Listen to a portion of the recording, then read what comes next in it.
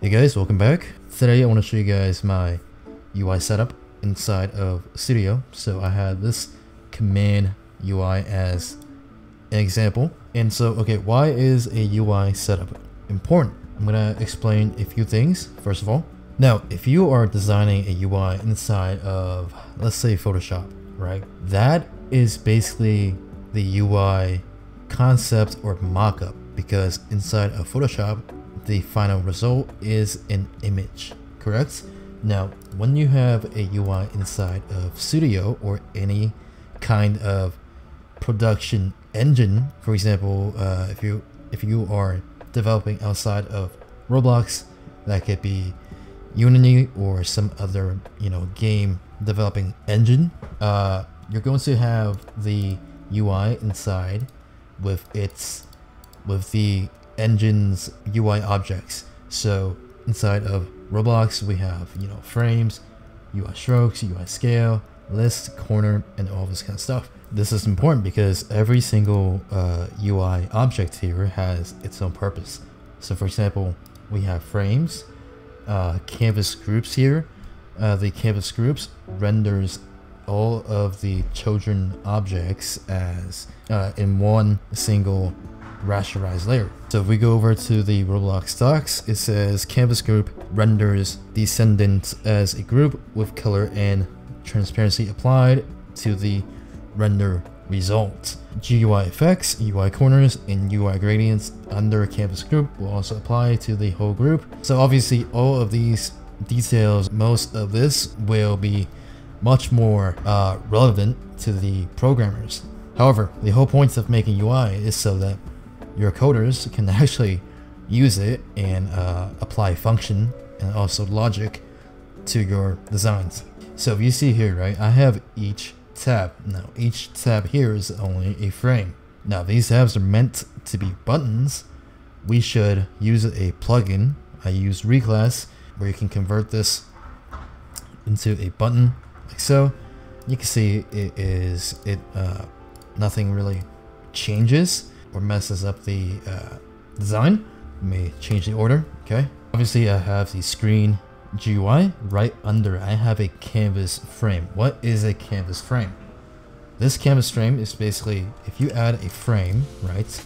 You go for anchor point, 0.5 and 0.5 to center uh, the anchor point like this and you go for size x scale 1 0 and y 1 0 like so you go position x 0.5 y 0.5 now I use a canvas frame because I don't want my UI floating um, this canvas group I don't want the UI to float in the screen GUI like this it is just floating and I don't like that. You're trying to build your Roblox game, but you have no UI assets. What if you could actually drag and drop a full UI kit, drag it in, and you can see we have all of these UI frames right over here. Best part is we actually have full icon packs. Let's go ahead and change these icons. It's really that simple.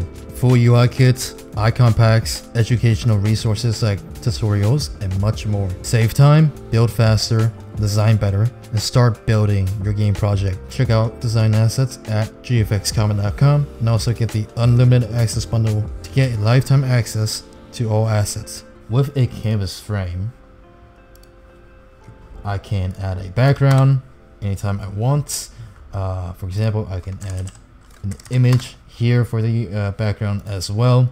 If I bring this up so it is quicker, we can go fit anchor and you can see I can very easily add a background here as well. Change the Z index as you can see. So that is cool.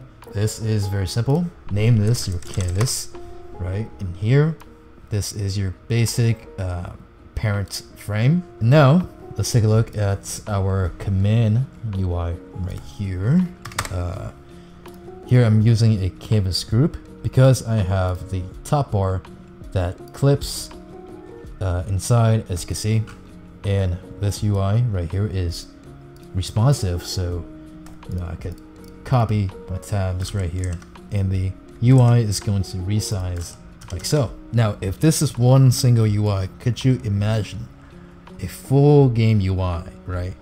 Every single page, every single element, uh, every feature that is entirely responsive and connected to each other. Now, of course, lots of Roblox games don't have that, and the games still do well. But personally, I don't think it will stay that way for for too long because I think the quality of games is going to increase every single aspect from the modeling to UI to the actual you know code base and overall game design is going to be continuously improving. But you can see here I have a mainframe, right? And I am using a list layout as well. If we take this off, you can see my UI just kind of uh, implodes, right? Bring this back. So I'm using a list layout to sort my main and my top frame right here. Some basics is I always export every single icon with the color white, uh, like this, from Photoshop or Figma into Studio because for image color to work, uh, your asset has to be white. So as long as it is white, you can recolor all the stuff to anything you want. As you can see right here inside of my uh, tab, I have the keybind and text being arranged with a list layout as well using space between.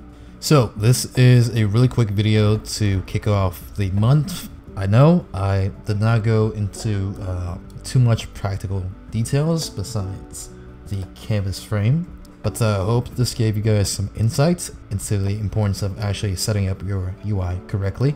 Of course, I am planning on making more videos covering every single little thing that I have briefly discussed here. So if you guys enjoyed uh, quicker videos like this, drop a like down below, comment, uh, check out the store at gfxcomet.com, UI assets, UI kits, icon packs, and the Design Academy. Stay tuned, and I will catch you guys in the next video.